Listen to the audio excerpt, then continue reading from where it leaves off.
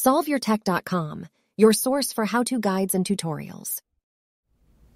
Welcome to our video about how to hide a picture on iPhone in iOS 17. If this guide helps you out, then please consider subscribing and liking this video.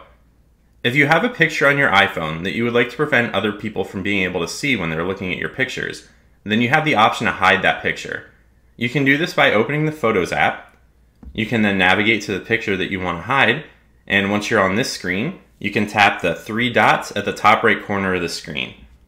Here you can select the hide option from this menu, and then you can tap the hide photo button to confirm that you want to hide it.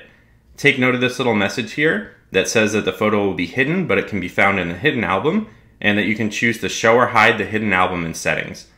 So now you can just tap on hide photo to hide that picture, and if you would like to be able to view the hidden folder, then you can open the settings app you can then scroll down and select the photos option from this menu. Then you can scroll down again and you can tap the button to the right of show hidden album to turn it on. Now with that enabled, if we go back to the photos app, we can select the main albums menu, which is gonna take us to this screen. And then you can scroll down and you'll find the hidden option under utilities. And if you select that, then you can enter your passcode to view the album and then you'll see all the pictures that you have hidden.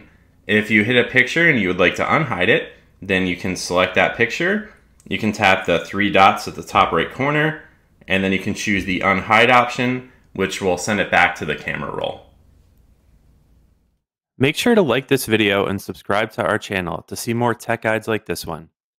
For additional information on this topic and to read the entire article, click the link in the description to visit solveyourtech.com.